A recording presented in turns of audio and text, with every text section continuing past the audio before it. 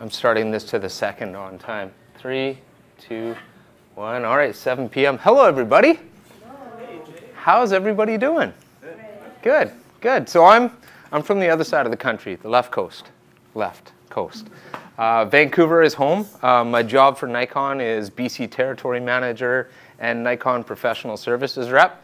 So I sell stuff to stores, I support photographers from news organizations to law enforcement, federal government, um, all sorts of institutions. So my job is to kind of know a whole bunch about Nikon gear. And uh, kind of what I want to cover tonight. Uh, two years ago, uh, I was fortunate enough to be in that, uh, one of the early people to get my hands on a D850. And I thought, wow, this is the greatest thing Nikon has ever done. And I still maintain that the D850 is one of the greatest cameras Nikon's ever made. And so over the course of that year, I shot the D850 for absolutely everything. I took it out, shot wildlife, pro sports, studio portraits, family snapshots of my kids. I shot the D850 for absolutely everything. Then last August, I get this like mystery email. Come on in, you're good. Sorry, Come, no, you're good, man. I get this mystery email that I'm going somewhere and like pack a bag. You're going to this event. And so we fly to New York and I get this mirrorless camera put in my hand. I get the Z7 put in my hands, and I'm like, okay, this is kind of cool. And so I spent the last year basically shooting nothing but mirrorless cameras. And I discovered some things I love about them, and I discovered some things that I've now grown to love about them, and I've also discovered some things that maybe I've had to work around. But I haven't touched or shot seriously my D850 since about a week after I got my sample of the Z7. And I just personally invested in uh, Z6 finally for my own purposes to shoot because 46 megapixel files chew up a lot of space on a computer. And 24 tends to be enough. So what we're going to talk about today though, um, I'm fortunate where I live out there on the left coast, we are surrounded by humongous amounts of wildlife of all sorts. I do a lot of action shooting and a lot of wildlife shooting. And we're going to talk about sort of a comparison between using a DSLR to shoot these subjects and using a mirrorless camera to shoot these subjects. And the difference is a lot smaller than you might think. Um, there are lots of advantages to both, and I want to get into sort of what those are. So let's talk about a couple things. Like number one, actually getting to the shot. So you're packing your bag, you're taking your gear. So a shade over a year ago, I had a little guy. So anytime I go out to shoot pictures, I have 20 pounds of baby strapped to my chest. So the last thing on earth I need now is 40 pounds of camera gear strapped to my back. A lot of the places I go to make pictures, it's a fair walk to get there.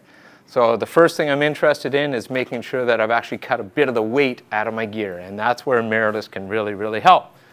Um, so packing my bag, super important. But we're going to talk about, like I said, two main categories.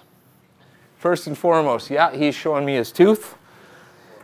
He's the tried and trusted Nikon DSLR he's not going to eat me. There, there's an electric fence between me and that bear, just for full disclosure. Um, the newcomer to the market, for us anyways, is Nikon mirrorless cameras. That's a Sandhill crane that shot at 24 millimeter on a full frame camera.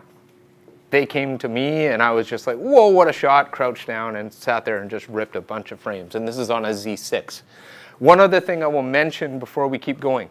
Um, most of the DSLR pictures that you'll see that will come up tonight went through Lightroom or Photoshop. Anything from a mirrorless camera was directly raw processed in camera, SnapBridge to my phone, airdropped to my Mac, dropped into this presentation. So nothing you see has been through any sort of computer post-processing at all. This is all basically raw conversion straight out of camera to JPEG. So this is a JPEG conversion of the raw file. But when we're talking about shooting an action or a wildlife subject, I mean, we got to get a few settings done on the camera. And that doesn't matter whether it's DSLR or mirrorless. There are some fundamentals in setting up your camera that you just, you have to do. Um, exposure modes, uh, all sorts of different things. So let's talk about just doing the camera setup. So some of the DSLRs have like the various mode buttons. Some of them have what I call the PASM dial. And the new Z series, they have the mm, uh, manual aperture shutter program, green square mode U1, 2, and 3, which I'll get into in a little bit because they're the greatest thing ever on these cameras. But essentially, this is where you get started, your exposure modes.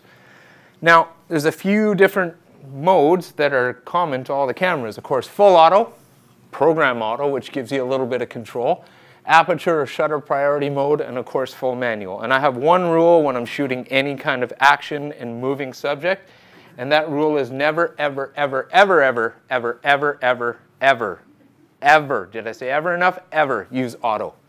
Auto gives you no control over the camera whatsoever. You will get a great snapshot, but had I shot this frame in auto, you would have seen the background behind him. It, I couldn't have made the creative decision that I made to make sure that bear was isolated. I was also laying down in a mud puddle to get this shot, but that's okay. I got the shot. Um, that's the same guy that you saw before that was showing me his tooth. Um, so that's, that's all fine and good. Like, I think when you're actually getting into it, probably if you're not sure and you need to use some sort of semi-automatic mode to shoot like a wildlife or an action subject, probably shutter priority would be your best bet. At least then you know you can set a shutter speed that's going to allow you to freeze the action in front of you and let the camera make some of the other decisions for you. But there's a red line through auto for a reason because I never want you in auto when shooting this subject matter. Okay, so DSLR, autofocus modes. So AFS, obviously autofocus single, AFC, autofocus continuous, or AFA, which is autofocus automatic. Um, that red line that went through auto, I'm to put a red line through this auto as well. AFA is great for a convenience uh, when you're just taking like a general snapshot. But in terms of a subject like this, what the camera is actually doing is going, is my subject still or is my subject moving? So you have this nice still bird and he's sitting on a post and you're getting ready to take a picture of him and he takes off. So AFA, the camera goes, oh man, that thing moved. I better switch to AFC. But by the time the camera makes the switch, sometimes your subject is too far gone. So I don't always recommend AFA in that you're giving up just a little bit too much control to your camera and it can't react at the speed you need it to react. This particular blue heron, I literally almost stepped on. I walked down into, we have this birding area near my place, and I walked down in to see if I could see around the corner, and he was right there, and he flew away. Had I been in AFA, there is no way I would have gotten this shot. It's raining like crazy, as you can see the raindrops right there. This is a D850, and the ISO is all the way up at 8,000 to get this shot. Like the light was not good, but I was still out there birding because that's what I do. Now on a mirrorless camera, there's two main modes. There's AFS, autofocus single, or AFC, and there's various sub-modes underneath those modes. And you'll see later I have a rule, and I'm never, almost never in AFS, regardless of the subject matter that I shoot. I live my life in autofocus continuous. Now for DSLR, various autofocus systems. One thing I should be totally clear on, from D30, D3000 series up to D5 and all the way through, every one of our DSLRs is capable of 3D tracking a subject through the frame. The difference between the various cameras is the amount of autofocus points that you get and the coverage that each of those autofocus points provide. So a 3000 series, you have 11 points of autofocus. You can still 3D track a subject with 11 points of autofocus. On a 5000 series, 39 points. You have a better chance of 3D tracking. 51 was our flagship not that long ago. And of course, now with the D500, D850, and D5, you have 153 points of autofocus. Great to have. On the D500, it covers, covers almost the entire frame, which allows your subject to go anywhere. Now in mirrorless, had to update this slide not long ago for the Z50. So 493 points of focus on the Z7, Z7, 273 on the Z6, and 209 on the new Z50. Um, what does that mean? Well, that means we have 90% coverage. There's literally just a little narrow band around the edge of the frame where you actually don't get autofocus. And I think if you're putting your subject in that band, they're pretty much out of frame anyways, so you should be able to sort of keep them inside there. Um, face and now with the new firmware, obviously eye detection autofocus. At this point, I've only recognized a couple of animals that it actually works on. It doesn't work all the time, but people, it's absolutely great for, as you'll see a little bit later. And then predictive autofocus technology. So in an auto area AF mode, it's actually able to kind of separate your subject from your background. You'll see an example and actually do a really good job in auto area autofocus, picking your subject out and focusing on it for you. Um, we also take a bit of a hybrid approach to our autofocus on the mirrorless cameras. Um, phase detect autofocus. So it actually uses the autofocus sensors on the sensor and it racks to the point of focus and stops right there. And the cool thing about the Z series is it does a tiny little really fast additional contrast detect confirmation step to really make sure that it's locked that focus in. So when it hits, I mean it hits. It is pin sharp and it hits. And you don't get any delay with that little step. It's just doing a tiny little bit just to make sure that it absolutely nails the focus. So lots of different autofocus modes within AFS and AFC, right? So the first mode that I think a lot of us try to use right away because it's familiar, it's comfortable, we like to try to use it, is single point autofocus. So bathing bear, six o'clock in the morning, you can see the mosquitoes. I'll tell you they were munching on me and the bear. I didn't stay for that long. Um, but put that single point on the bear's eye, get a great shot of an early morning bathing bear. Um, so that's great for that. Or how about a short-eared owl defending its kill? Now, just out of frame above it is a northern harrier swooping at it, trying to take its lunch. So it makes itself look really big to keep the harrier away. Um, about eight frames after this, I got a picture of it popping the head off the vole that it caught, and I don't often show that in these type of presentations because some people get offended, and that's okay. Um, so I put some red in the frame anyways, but that's more to demonstrate the autofocus point where I had it on his eye. He stayed on that post a while, so I was able to maintain single point autofocus. Slower moving subjects, no problem at all. Uh, Canadian Forces Cormorant Rescue Chopper. Where did I put the autofocus point? Well, the autofocus point was on the nose of the chopper. And for subjects like this, single point is awesome. It's a great way to focus. What you want to do is just kind of know that your subject's a bit of a slower moving subject. Now, what happens when your subject starts moving more quickly and you're in single point autofocus? Well, there's a nice golden eagle flying away, and we put the point on him. The problem is, as soon as he moves, it looks kind of more like a B-2 bomber taking off in the background as opposed to a bird flying at your camera. Single point's not that good for quickly moving subjects because you have to keep that point racked right on your subject. If it drifts off your subject at all, focus is lost. So for anything moving, I say don't ever use a single point autofocus. The mode that I am in most times on both DSLR and mirrorless is one of our group modes. So when you look on say like a D850, that's what group autofocus looks like in your viewfinder. Obviously, there would be something behind that unless it's like a white cat in a snowstorm. But these four points, plus all the points inside it, conspire to create one huge autofocus point. And what the camera does is it looks for the object of highest contrast inside those points, and that's what it racks focus on. So if, you, if you're in continuous, you just need to keep that diamond on your subject as it goes through the frame, and it'll rack nice critical focus on your subject for you. And you can move that group around to change your composition, which is really, really nice. So a couple of examples of using group. Um, this up at Pitt Lake, just outside Vancouver, uh, right at the end of the boat launch was an osprey's nest. And believe me when I say there is a lot of photographers at this spot because this is shot with a 70-200 at 70 millimeter. That's how close you can get to them. And I'm in a lineup of about 60 different photographers taking shots of this guy. Um, there's a bald eagle across the lake, so mom and dad were taking turns. They wouldn't both leave the nest because that eagle would come down and take the babies. So it was just watching them swap. They'd go fishing, grab a fish, come back, feed the chicks, the other one would take off. And you sat there for hours and just watched this happen. But group autofocus, it just grabbed focus on the bird. I'm probably stopped down to about f5.6 to make sure I get good front-back focus on the bird. And that's mom, headed off to go uh, grab a fish. The Abbotsford International Air Show a couple years ago, my absolute favorite aircraft on earth. Lock that diamond somewhere on the plane and get a nice in focus shot. This is with a D850 and an 800 millimeter 5.6, which I'd never shot before that day. And when somebody else didn't have it, I was totally geeking out and grabbing the 800 and making a few frames because, well, I'm like that. That's what I do. Yeah. Or shooting pro soccer. Group is a great mode for shooting pro soccer. I understand there might be a lot of TFC fans here. That's absolutely fine. I'm a Whitecaps guy. I'm from Vancouver. I spend a lot of time on the sidelines, and I'm most guilty of when I'm at these games and I'm supposed to be making pictures of actually watching the game sideline. And I get pretty distracted, and I watch 15 minutes of soccer. Then I'm like, oh, I'm supposed to be shooting.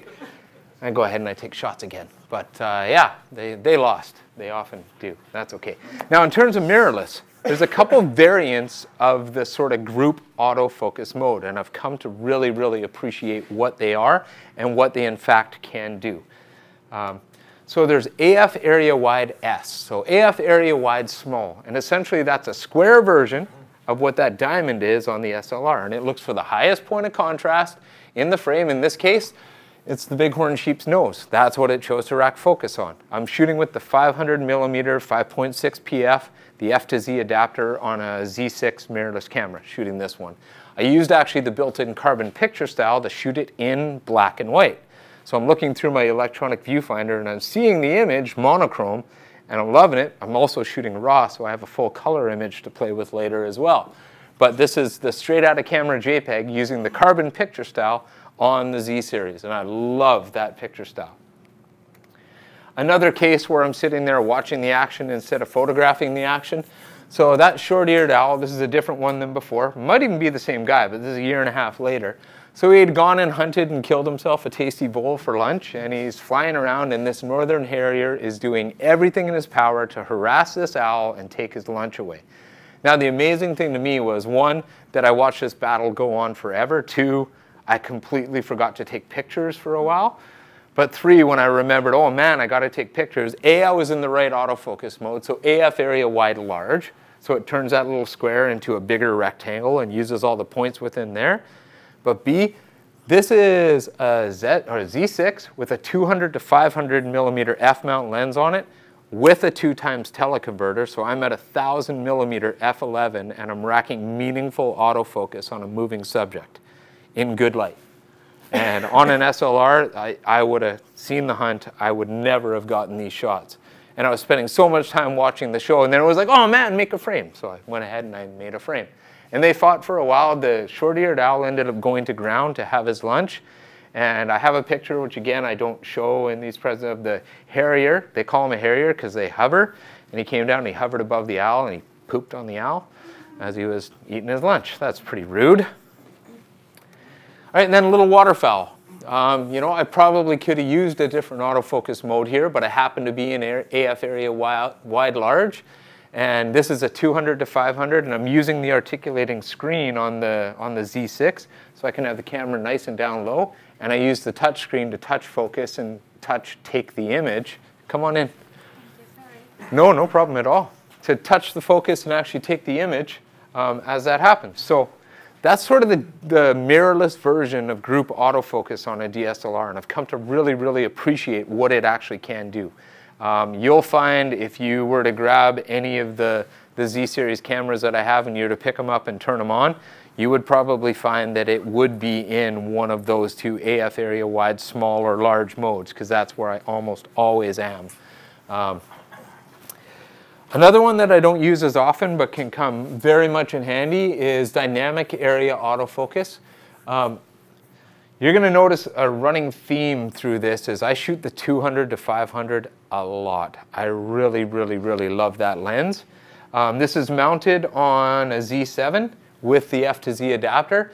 And so the dynamic autofocus, that's the main point of autofocus. And if your subject drifts off that main point, it uses surrounding points as helper points. So it says, okay, this is what you initially focused on, but you drank too much coffee today. You're a little bit shaky and your camera moved to the right, so it's on those left points. So I'm going to use that point to help you keep focused on your subject. So it's a variant on that group autofocus mode. And I find it to work really, really well. The 200 to 500, by the way, is an awesome macro lens. You just got to get a fair ways away from your subject and rack it out to 500 millimeter. But he was doing his thing, eating some nectar, was happy to do it. Now, one thing I love about DSLRs, probably my favorite autofocus mode in the history of Nikon is 3D tracking. Um, you're looking at sort of the viewfinder view of our D500, so our flagship DX DSLR. Um, that's kind of what all the points would look like on a D500. Now using 3D tracking on a D500 is an absolute revelation. And the first time I used it, I was blown away by what it was able to do. I'm going to play a little example for you here, and I'm going to play it a couple times so I can demonstrate what 3D tracking actually does. So this is actually in Whistler, British Columbia. It's kind of a blurry mess right now, but all shall be revealed. So as he pops over the top, you see that point following him. And you're blasting away at 10 frames a second, and that point's just following your subject as he goes through the frame. Allow me to play that again for you. You don't want to see the rig that was used to make that video through the viewfinder of a D500. You don't want to know. It took some engineering smarts to get that done. But that really clearly demonstrates how well 3D tracking actually works on a D500. D5, D850 also features 3D tracking. So remember I told you I spent a lot of time at Whitecaps games. This is no different. This is, uh, this is one of my favorite Whitecaps players. He's a rocket ship. He runs fast. And this is using 3D tracking. And basically, I locked the point on the Bell logo on the front of his jersey, and at 12 frames a second on a D5, just stayed mashed on the shutter button while he ran upfield. And what I really like about this is he's not coming directly towards me. He's not going directly across. He's actually going in a diagonal direction of travel, which really is not the easiest thing on earth for 3D tracking to be able to do, but absolutely no trouble doing it here. And I just took a bunch of still frames and learned and Googled how to make a GIF in Photoshop, and it led me to this. So turned out not bad. Nice little loop. Now, on a mirrorless camera, we don't have exactly the same mode of 3D tracking. We have auto area AF and we have subject tracking. I'm a little divided. Um, I found for the purposes of this type of photography, I infinitely prefer giving the camera the control and using automatic area autofocus. And you think, holy, all you spent the beginning of this telling me was don't do anything auto. But the auto area AF works really well. And I'm going to show you now what it looks like in the viewfinder. And essentially what it does is draws boxes around the subject that it's trying to rack focus on. So this is a rough-legged hawk who's trying to hunt. He evidently saw something on the ground, dove down off the post, went straight down. And what I'm seeing in my viewfinder is it drawing the little boxes around the subject. And what impressed me most about it is he's actually a pretty similar tonality to the background. Like his plumage is designed to allow him to blend into the environment which he's in, and it picked him out no problem at all. And this is with the uh, this would be a 200 to 500 again using the F to Z adapter on, I believe, a, this is a Z7. I'm almost totally sure this is a Z7. Now I have a six-year-old and a one-year-old, so it's not all about the animals. I have my own little animals. This is the six-year-old. His name's Ethan. Um, get him on a scooter. He's a rocket ship, and it's the way it works. So even in this case, I'm using automatic area autofocus and just said, Ethan, come to me. And he knows I'm doing autofocus tests and stuff, and he's so patient, I'll give that to him. Sometimes he just cold refuses, stops and says, no, Dad. but basically, here's what I'm seeing in my viewfinder is he's getting closer and closer. He's drawing the boxes over him, and as he takes up more and more of the frame, it adds more and more boxes. Oh, and it skips right through to the next guy. No, we'll stop there. Yeah, see how patient he is with my constant, hey man, just go down that way again. Come back to me again. Okay, go down that way again. What are you doing? Different autofocus mode. Come back. I'm tired. Okay, fine, last one, I promise. This was the last one. He was out of patience. God love him. All right, so this, this is the Z50. Um, so this little guy. Um, I was fortunate enough to have my hands on one a little while ago. Um, not far from my house is this place called the George C. Reifel Migratory Bird Sanctuary, and it is one of the most biodiverse places that you can visit anywhere in Canada. At different times of the year, there can be upwards of three to 400 different species of bird at this sanctuary. Um, we have a family pass. I take my little guy all the time. He always grabs a P1000 or a D7500. I give him a zoom lens, and he mostly takes pictures of duck butts, as he calls it. He'll walk up to the duck, it'll walk away, and he'll take a picture of it. And I'm fine with that. He loves photography. But so this is a this is a Z50 with the F to Z adapter, with a two times teleconverter with the 300 millimeter PF. So when we take the two times into account, we're at 600 millimeter f8. It's a DX sensor, so we add another 1.5 times crop to that. We're out to 900 millimeter f8 and this grabbed focus so well. Again, this is using the automatic area autofocus and it just draws the boxes and he's right up at the edge of the frame because at 900 mil, I don't care how steady you are, a slight movement moves your subject a long way in the frame. So the fact that this camera was just racking autofocus like that at f8 at 900 millimeter, for me, I was just like, oh, I can't wait. Of course, I did. I went ahead and bought a Z6. All right, so a little bit of a pro sports example, and I want to I want to carefully qualify this one. So this one I'm using an Atomos recorder on top of the, at the time it was the Z7. And I'm basically showing you what the viewfinder's seeing as I'm shooting a Whitecaps game. So let's play the video. So even with the background in the crowd, and then as soon as Kendall Waston comes into frame, face detection, boom, it grabs him. Now these little pauses are the Atomos recorder at the time not being able to handle me taking still frames while it was trying to record the screen of the camera. But this is up at ISO 8000 and absolute, I was just like, oh, this is with the 500 millimeter PF. And again, this is one of those situations where I caught myself watching the game more than shooting the game. And I was like, oh yeah, I was supposed to get some of these examples. So I made sure eventually that I did. But the one overriding theme to everything I've told you about autofocus so far, and this is a rule that I absolutely live by, and I would love each and every one of you to adopt it for whatever kind of shooting that you do. Repeat after me. Always be in AFC. Your turn. Always be in AFC. Awesome. Okay. If you always be, yeah, TFC. I'm okay with that. I'm okay with that. I'm okay with that. Okay, and there's a follow-up to always be in AFC. Why always be in AFC? I'm going to ask for a show of hands here. Who in the room are my back button focusers? All right, we got a few of you. The rest of you need to learn it, use it, and love it. And if you use back button focus in combination with AFC, you get the best of both worlds. You get continuous autofocus and single point autofocus. And the reason I say that is this. We're in continuous autofocus right now. And I'm racking focus on that kind gentleman right there. And the second I release the AF on button, I've literally locked the focus just like I would have in AFS. And I want to start focusing again, I press the AF on button. And now I'm doing continuous autofocus again, and he settles into position, and I release that button, I'm in AFS mode again. It gives you the best of both worlds. Sorry, you are like pressing both? Uh, I don't use the shutter button at all, Okay. just the AF on button on the back. I am a firm believer that the shutter button was designed for one purpose. In the olden days, the shutter button made an exposure. Um, with the advent of digital photography and more and more advanced autofocus systems, this actually became a button that added autofocus as a function. Not one camera you will ever see me holding will have autofocus assigned to the shutter button at all. I am a 100% back button focuser. I am 100% in AFC mode because it gives me the best of both worlds. So if you're not using it yet, please try it. If your camera does not have a dedicated AF on button, like right now the Z50 has, doesn't have the AF on button, I go through the menu and the first thing I do is assign it to that. And I disconnect autofocus completely from my shutter button because I firmly believe that the shutter was designed to make an exposure and that's it. Always be in AFC. I won't make you say it again.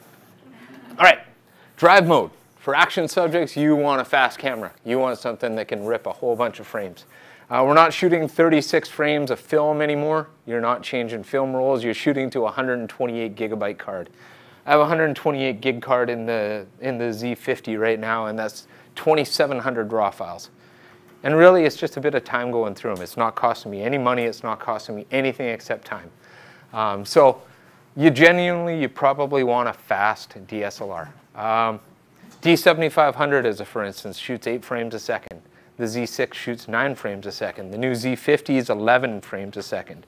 The Z6 is 12 frames a second. The Z7 is 9 frames a second. The D5 is 12 frames a second. The D500 is 10 frames a second.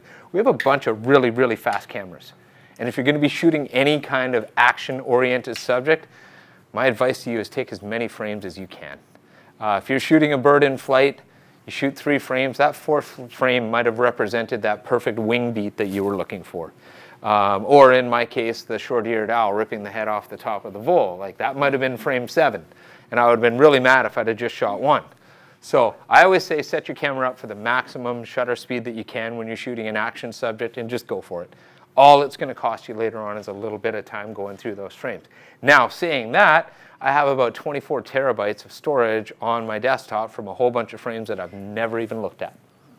Um, but I firmly believe that keeping each one of those frames, because the misses teach me more than the hits.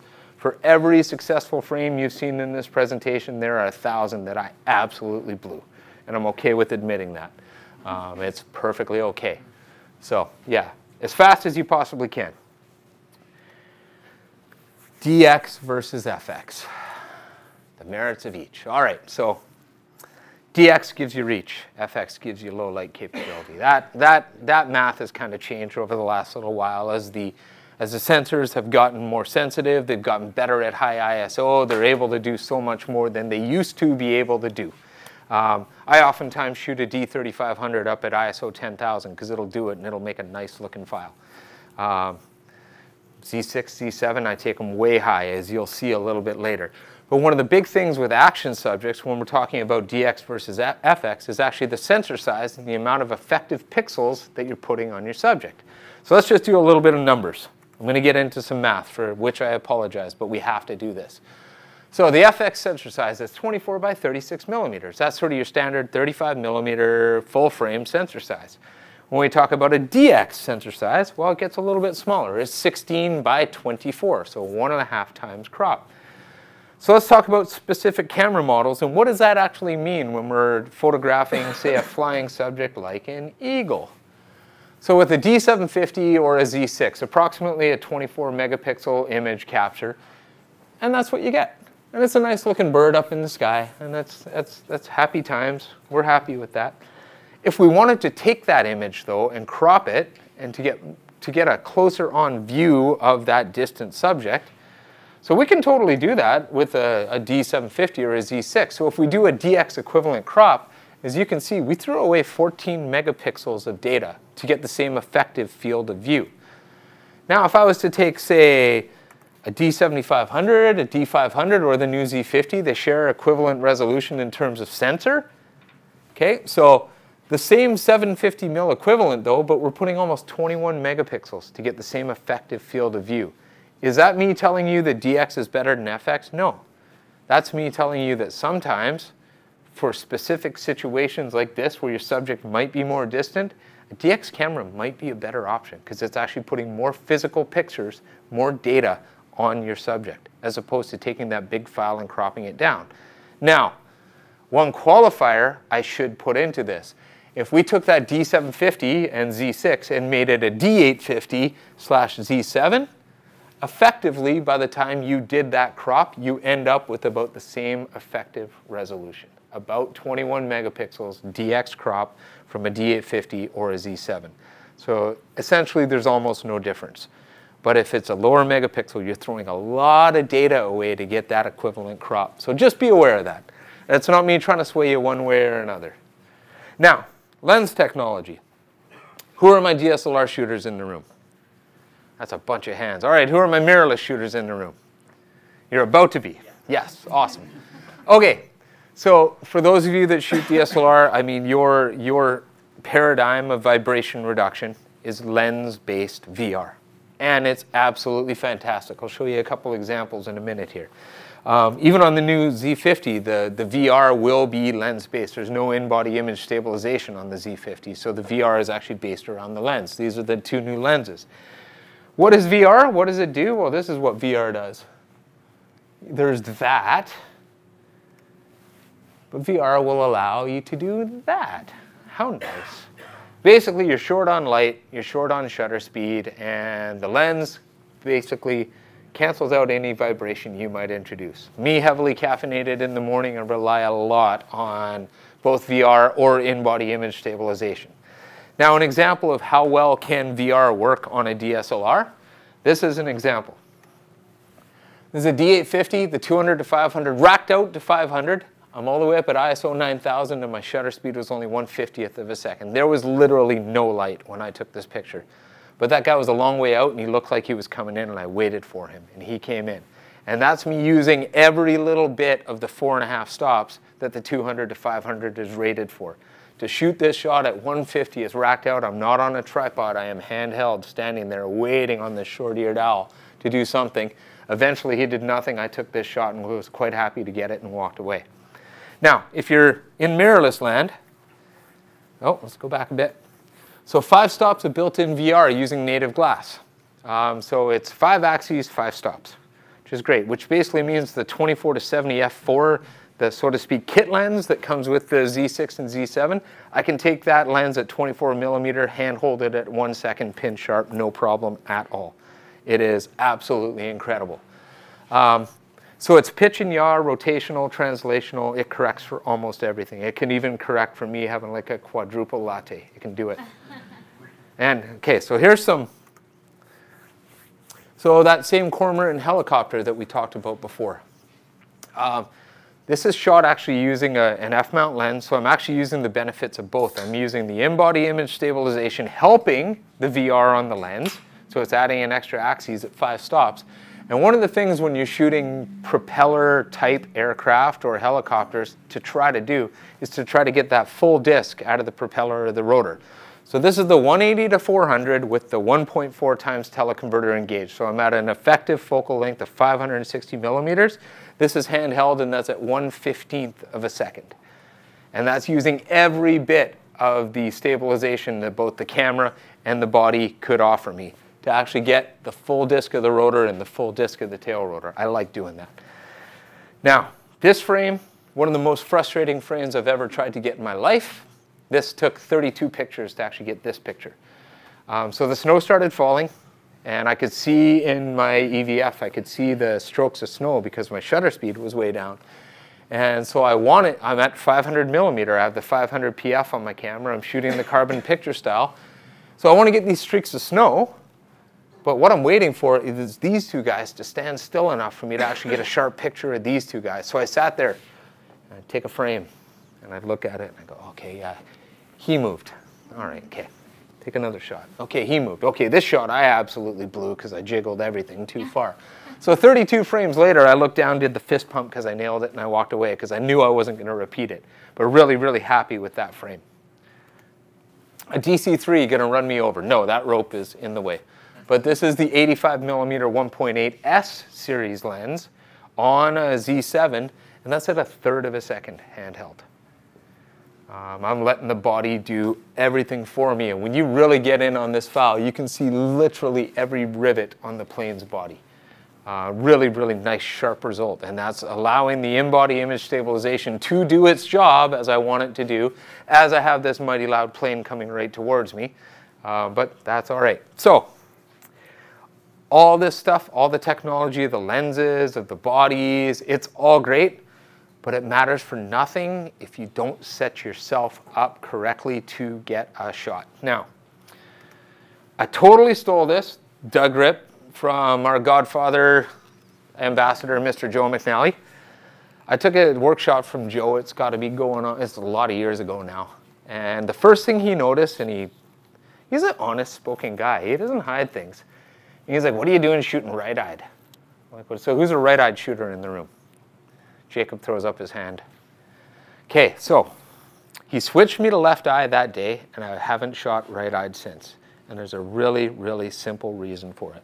And it's all about body ergonomics and how I set myself up to shoot. And it allows me to get those really, really long shutter speeds without worrying about. So here we go. Let's get into this.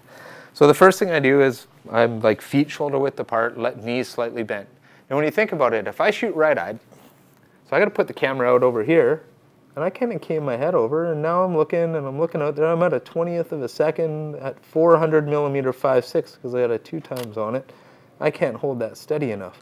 But if you look, my bicep is like full tension right now trying to hold this rig up because this is like, like two times an old 70 to 200. Like this is not the lightest thing ever. Now, that's because I'm shooting right-eyed. I'm pointing at Jacob right now. Yeah, he's looking at me. He's looking right at me. Okay, now, same stance, everything, but I make the change to left eye. And watch what happens. Now, my ribs are taking all the weight. I'm straight up and down. My bicep is squishy again. It's not working. My bicep's squishy most of the time, but it's squishy again.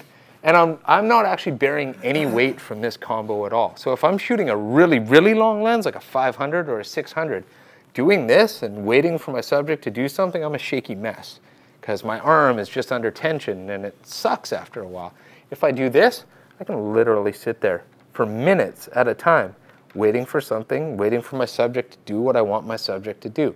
And it's all about My elbows dug into my ribs. I'm not actually supporting any weight now at all. And as soon as I made that change from right eye to left eye, you would see that one third of a second, that one eighth of a second, the one fifteenth of a second at these really, really long focal lengths became possible where it wasn't possible before. I was doing this at a photo club in the North Shore, and one of my NPS guys got these shots of me doing it. It's a 500 f4. That was like the most fun month I had when I had that lens. Anyways, yeah. All right. Where I'm going to give the nod back to mirrorless, and I'm actually going to pick this combo right back up. Uh, the one thing I absolutely adore about mirrorless cameras is the ability to use teleconverters with almost any lens in my arsenal. Right, so let's go. Teleconverters. Yes, yes, yes. So this is three great horned owlets, Larry, Curly, and Moe. Um, they were in a little area not far from my house, uh, poking out of their little owl hole. And so this is with a 500 PF with a two times teleconverter on it on a Z6. So I'm an effective focal length of 1,000 millimeters, f11. And the cool thing about it was the autofocus was, now on an SLR, if you ask a DSLR to focus at f11, you're asking a lot because the light's got to bounce down to a separated autofocus sensor and it's going to kind of try to find the contrast and it's going to do an okay job. But the mirrorless cameras are unreal for using teleconverters. So Larry Curly and Moe were, were very cooperative subjects. Uh, their mom just sat there and slept all day. Or a red-winged blackbird. And this is the same combo, 200 to 500 with a two times teleconverter on a Z7. And it's sharp, there's nice separation to the background. Um, the nice thing is I don't have the variability. Like it, the, the autofocus is right on sensor. So when it says it's in focus, it's in focus. And there's no big wobbles that you would get out of a contrast detect system at f11. It goes in, it locks in, it grabs focus. This one's getting a little more extreme. So this is the uh, Z50 with the 200 to 500 with a two times teleconverter on it. So my effective focal length is 1500 millimeters f11. Um, that bald eagle is a long way away. And look at the size of the talons on that thing. Yeah, you don't want him coming after you. You just don't. You saw this image before, but this was also shot with a teleconverter. Um, so her two chicks were in her nest sleeping. Uh, we have a rookery not far from my house, and there's about 30 different Anna's hummingbird nests in about 40 feet of space. They're all over the place. And so I'm standing with the 500 5.6 and an F to Z adapter, and I'm taking pictures of her sleeping babies, and I can hear this kind of hum and chirp above me, and it's mom, and she wouldn't go in and feed her kids because I was too close. So, I don't know too many other people that would say this, but I had a two times teleconverter in my pocket. So I took it off, and on, put the 500 back on, stepped back for the same framing, the same composition, and that gave her the confidence that I was far enough away to go in, feed her babies, and voila, we got the shot. And the cool thing about this, this is at 12,800 ISO on a 46 megapixel sensor, because obviously I went to f11, so I doubled my effective ISO. It wasn't that bright out. But I got a, like a really cool shot of a Mama Anna's hummingbird feeding her little ones. Kind of fun. Back to the Z50. That's the Z50 with the 300 millimeter PF, so an effective 900 millimeter f8. And like the lightest 900 millimeter f8 you could ever find. Such a, a pleasure to handhold. Same thing, 900 millimeter f8, another Anna's hummingbird, just stopping for a quick snack. Or for really, really big fun, point it at the moon, 1500 millimeter f11, because why not? Because I could, wanted to play. Yeah, so that's all fine and good. We have our teleconverters covered, we have autofocus covered, we have autofocus modes covered, drive mode covered, exposure mode covered. We've talked about a whole bunch. The best feature we've ever given you is Auto ISO. Uh, does anybody use it? I see some nodding heads. Yeah, I, I love Auto ISO simply for the fact that I still get creative control over what's happening with my camera and lens combination, but my camera almost guarantees me a perfect exposure every time. The metering sensors are so sophisticated now. If you're in matrix metering, they do a great job of seeing the scene.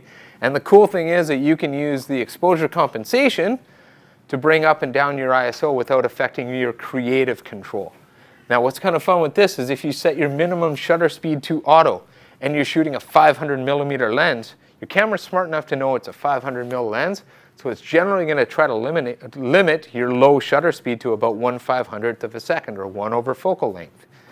Um, You can also set your minimum shutter speed, say if you're shooting really fast moving little birds, you can set your minimum shutter speed to 1 3200th of a second, and the camera will try not to allow you to go below that. So you can get a nice sharp shot of that bird in flight.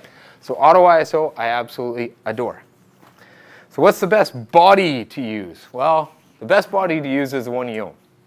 We want you to buy new stuff. Of course we do. We're Nikon. We love you. We love that you love our gear. But oftentimes I find that uh, a lot of people use 10% of what their cameras can do. Um, I remember when I first joined Nikon, I got my first box of sample gear, and I was so excited because when I opened, the first thing that was there was a D5. I was like, yes! Right under the D5 was a D3500. And I was like, okay, that's, or D3400. I'm like, okay, that's cool, but man, I got a D5, like, it's awesome. So I phoned our national tech guy. I'm like, dude, thanks for the D5. He's like, yeah, you don't have a card. Learn how to use the 3400, then I'll send you a card. so I stared at this D5 box for weeks while I like really dug into what the 3400 could do. And I got a really solid appreciation for that little camera. And then when I finally proved that I'd kind of really took some time to learn the D3400, I begged and pleaded and I got the card and then I went and shot the D5 a whole bunch. So yes, that might be the best body to use, but that might not be the best body for your pocketbook. It's an $8,500 camera body. We don't all have that. Um, I don't know, in the mirrorless series, nobody's used a Z50 in the room yet except a few of us. Um, for me, that's one of the best bodies we make right now. Uh, like I've, I shot a little bit a couple weeks ago, and I've had my sample now for four days, and I've fallen in love with this little camera already. Like it's so cute, but it like it's a it's a D500 in there. Like it, the sensor's a D500, and it's all the awesome mirrorless stuff that we talked about, and it's this tiny little camera. And oh yeah, I'm a giant fan. Now, saying that, I just invested my own bucks in one of these, and I think it's sitting out back for me to pick up. I'm going to get that tomorrow. And I got it with an F to Z adapter, and I'm gonna, I have 46 old manual Nikkor lenses at home that I would never shoot on an SLR because I had no focus aid, and with these I have focus peaking. So I'm gonna use all my old manual lenses now, again, with my new mirrorless camera. I'm so excited. Okay, so the best body is whatever you have, but one of the things I think is really important is to learn the outer limits of your gear. And I think we're all really guilty of reading the internet and going, you shouldn't take your D500 above ISO 3200 because there's too much grain. I shake my head in your general direction. All right, let's have a look. This is a D5 at 45,600 ISO because I can. There's not too many other bodies I can take that far. But it was me and the chief inspector of the Delta Police Department standing beside each other one night waiting for this guy to take flight. We're both using auto ISO and we're sitting there, we both agreed 1 1600th because of the type of owl that it is. You want to get a nice sharp wingtip. And we're watching our auto ISO value climb up and up and up. And I looked at him and said, when this hits 51.2, I'm out of here. He's like, yeah, me too. I'm not going higher than that. He made a sound and he took flight and we both sat there and blasted off this big thing of, as he was flying around. We were both really happy. At 45,600 ISO, I have a 24 by 36 of this printed and it is an absolutely gorgeous print. Yes, there is some grain in there. It's a 45,000 45, ISO shot, but don't let that fool you. Learn the outer limits of your gear. Here's a D500 at 10,000 ISO. I didn't lose any detail in the plumage of that barn owl. He's still flying. My shutter speed is not quite where I'd like it, but it was pretty dark out. That's with the 200 to 500 5.6. That was all I was getting. I capped my auto ISO on D500 at 12,800. I am very comfortable to go there, and I was exploring the upper limits of it. Now, get a little bit faster lens, equivalent settings, a little more subject isolation, you get that. Northern Harrier, just waiting on his meal. Same effective ISO, but you can see how the bokeh kind of just really helped out with the overall frame. It's a really nice sharp shot. Looks better on that screen, actually. But you can see my shutter speed now. It's a 13200th because that's what I like for smaller raptors to really freeze their wings. Um, that's about the right shutter speed for that. A D5 at 12,800 ISO isn't even beginning to break a sweat. That's like me walking slowly in front of you guys. It's just strolling along doing its little D5 thing. That's nothing. You can see all the mosquitoes around them. They were chewing on me too. Yeah. Again, 45,600 on a D5, that was the very beginning of that flight. How about a D500 at ISO 6400? I'm not ashamed to admit that this is the last time I saw this guy in my viewfinder. The combo I was shooting at the time was a D500 with a two times teleconverter with a 400 millimeter 2.8. So I was an effective 1200 5.6. And the second he left my viewfinder, I couldn't find him again. That's a Merlin. They're really, really, really fast. So once he was gone, he was gone. I was not seeing him again. But let's get into some new stuff. So how about the Z7, a long-eared owl at ISO 14,400. And in case you're wondering, 14,400 at 100% still looks really darn good. Yes, there is some noise there, but every little detail in his plumage is absolutely fine. And I'm pushing that camera. I'm not pushing it super hard, but I'm pushing it. Let's talk about a big push. How about 25,600 ISO on a Z6? That camera is not even starting to sweat at 25,000 ISO. It is a low light monster. I love that camera. Well, let's again, let's get in there at 100% just to, so every little piece of plumage. This is a northern flicker. They have the most annoying call in the bird kingdom. You hear them from forever away and you know they're around. You can go get a picture of them. Again, the D850, that's at ISO 9000 and you probably didn't get to see it super up close before. Oh, let's go back, sorry. Let's let you see it up, up, up, up, up close. That's what a D850 looks like at ISO 9000. And this is a lot higher than you would probably be thinking before you walked into this room this night. But my job's not to go do what the gear will do. My job is to go find out what the gear can do. And I'm constantly doing that. I'm pushing this stuff to the, to the edge of what I think it's capable of and sometimes even beyond because I want to know where the outer limit is. And I haven't found too many situations where I can't go out and get a shot especially if I'm hiking this far to go get a shot. I'm not leaving without making pixels. Like that's just, it's a waste of time. Now, yeah, that's underexposed. That's underexposed badly. That's a grizzly bear. He's having a bath. There's mosquitoes everywhere. I'm showing you basically uh, what I look like in Lightroom. So let's play with this file. Let's do some stuff. So what I did is I did a two and three quarter stop straight exposure pull. I yanked the shadows up to plus 80, and I grabbed some vibrance just to put some color back in the frame. And you would think, okay, that's equivalent to about a four-stop pull. I mean, that's not being very nice to a file. Uh, so let's look at it at 100%. Lots of detail. There is a little mosquito. You can even see the little mosquito wings. If you look up in the top left-hand corner, what kind of file is that? That wasn't even a RAW file. I did that to a JPEG. Now, this is before we had the raw developer for the D850, so this was me going, okay, what can I do with these files? And I did this to it, went, oh my god, okay, this is gonna be awesome. Now, I totally blew the exposure, I must admit. Like, that was my bad. I didn't expose that correctly, but learning what I could do with a four-stop pull to a JPEG on that sensor, then I found out that the similar resolution, similar type of sensor was going to be in the Z7, and I was like, oh my god, this is going to be so much fun. So we took a little boat cruise this summer, and this is just outside New Westminster. Uh, we're on a paddle wheeler on the Fraser River, and that's the Pattullo Bridge, which I'm always scared about going under because it's falling down. But a beautiful sunset, really nice sunset, but literally no foreground detail at all. So I did the same thing. Now this is in camera. I didn't even put this through Lightroom. I did an in-camera shadow pull. And so there's lots of detail in there. I preserved the sunset. And of course, the next thing I wanted to know is what did I do to those trees in the background? Did I destroy them? No, no, everything looks absolutely fine. It's pretty pixelated because I've zoomed right in uh, just for purposes of this, but there is no issues with any of the shadows at all. And I did this in camera. This didn't go near any external processing at all. The only thing I did was grab it in the keynote presentation and drag it really big so you could see it. Yeah, so Z7, awesome. So let's get there, Z-Series. Um, we have one of these outside. It's not coming soon anymore. It's right out there, the 58.95. I'm a giant big fan. Um, every other one of these lenses I've photographed and I've compared them to their Z-mount contemporary or their F-mount contemporary if there is one. And every one of these lenses, especially the 50-1.8 and the 85-1.8 have become like my absolute favorites. I'm not normally a 24-70 guy, but the 24 70 f4 kit lens, which is way better than any kit lens ever, is an amazing little walk around. The 24-70 is crazy. The 14 to 30 takes screw-in filters. I have a 10-stop 82 mil screw-in filter that I can use now. I bought it all these years ago. What am I going to do with this thing? And then Nikon listened. They made a lens that I can use it for, so I didn't waste the 300 bucks. That's a really, really fun lens. Um, but we made these lenses because we made a new mount. Um, those of you that shoot SLR know the F mount. 60 years we've had that around. This one's new and it's awesome. It allows us to take light and fire it straight through the lens, straight onto sensor. And that means corner to corner sharpness. That means almost no chromatic aberration whatsoever.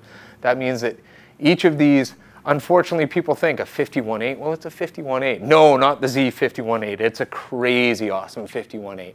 Um, that just means each of these new Z lenses can be sharp, can be crazy fast focusing, can be really good wide open corner to corner. They're amazing lenses. But not everybody wants to invest in an entirely new lens system. So when we launched these, we launched the F to Z adapter. So that allows you to take F-mount glass and adapt it and shoot it on Z-mount bodies. I bought a Z6 to shoot my old manual Nikkor lenses. Why not? I wouldn't shoot them on an SLR because I can never be guaranteed I was racking focus. With focus peaking, on the new Z series, I can actually see in the frame what's in focus. It's a tube. There's no optics in there. It's just a spacer with electronic connections to allow the F-mount to match to the Z. And if you're shooting a non-VR F-mount lens, the Z body, the 6 or the 7, adds VR to your lens in body. So it makes my 1424 an image stabilized lens. It makes my 105 1.4 a VR lens. Like that would be a lens that I would never shoot slower than 1 200th of a second because it's so unforgiving. I shoot it at 25th of a second now and I don't even think about it. Now, this is what we all wish we had at home. Like, wouldn't that be an awesome gear table? Just like, I'm going shooting today. I want you, I want you, and I want you. And you take it and you go shoot. That would be absolutely amazing. Now, if any of you have this gear table, we'll exchange numbers. We'll be best buds. I promise everything will be fine. If you don't have this gear table, you have something to aspire to. But yeah, this is pretty incredible. So what you're seeing there is a representation of every single AFS lens that is fully, completely auto exposure, autofocus compatible with the Z series today. And probably everyone in this room, because a lot of you put up your hands as DSLR shooters, own many of these lenses. All you need is that little guy right there. And you can use those on the new things including the new little Z50. But we have glass coming for everybody. So everything on this list with a blue dot, we've already released. So we have a 24.8, 35.18, 51.8, 85, the 58.95. Still to come, uh, there's a 51.2 apparently coming next year, a 21.8, a couple of compact primes. I hope these are little pancakes. Don't know for sure, but the 28, I'm a 28 guy. I love 28 millimeters. It's like my favorite focal length ever. So I'm really excited for this guy. A 40, a 60 micro, an S-line, which is our upper end Z series lens, an S-line 105 micro. But that's just half of it. I'm gonna go to the bottom half now. Look at all this other stuff. So a 1424, the 70-200 f2.8, which apparently we said is coming sometime before the end of this year. Man, I hope so. I can't wait. Um, an S-Line 24 to 105, an S-Line 100 to 400 for those of you wondering about telephoto glass for the Z series. There is telephoto coming all the way out to 600 millimeter. A nice general purpose travel lens at 24 to 200 and then a DX 18 to 140. So that basically at the end of 2021 should have us at 23 native lenses on top of the 93 F-mount lenses, on top of the other 363 lenses that can be mounted with compatibility. It's a lot of lenses. We're okay. We're doing fine. All right, so let's, let's dive through. I'm, I'm going to show you a series of some images, and every one of these was shot with a Z-body and either Z glass or F mount glass, and I'll try to remember which because my presenter's notes are not showing up. So this is going to be a test of my memory banks. All right, that's definitely a Z6 and a 400 2.8. I remember that image. That's this year's Abbotsford International Air Show. And just be reminded, every one of these frames that you're going to see did not go near Lightroom or Photoshop. This was direct conversion out of camera, airdrop to my Mac, dropped into this presentation for you guys tonight. Northern Harrier swooping around down at Boundary Bay in nice evening light. Uh, that'll be 200 to 500, no teleconverter. Bighorn Sheep, that's the 500 PF and a Z6. Oh yeah, okay, this is Z50 4K video with a 300 millimeter PF and a two times teleconverter. So you're gonna see a little, a little shaky, but I'm at 900 millimeters, so that can be excused. But I shot some 4K vids of this heron fishing. If you could hear the audio, you'd hear me coughing and trying to hold it still while I get this guy fishing. But that's uh, 4K 30, 4K 24 on the Z50. Swallow your meal. There you go. Yeah. 180 to 400 with the 1.4 teleconverter engaged with a Z6. So that's Hamza. He's the, ca- he's the pilot of the Canadian CF-18 Hornet demo team. Barred Owl in Victoria, British Columbia, a 300 millimeter PF on a Z7 with the F to Z adapter. Different Harrier, same area. Uh, that is 200 to 500. That is 300 PF on a Z6. Little Anna's Hummingbird having a meal. The American Forces Thunderbirds, they were at the Abbotsford Air Show this year. Full afterburner, that's an 800 5.6 on a Z7. Another different Mama Anna's Hummingbird feeding her baby. That is 300 PF on a Z6. All right, this is my little guy. This is Henry. Uh, he's my favorite action subject. You ever want to try to focus on a baby that just learned how to walk? Eye detect autofocus is magic for this. So we gave him a popsicle. He'd never had a popsicle before, and we just handed it to him and said, Go to it, kid. And with this, I shall finish tonight. But have a look. These are the five faces of Henry versus the popsicle. It's a good. Oh, I like it. Brain freeze! And that concludes tonight's presentation.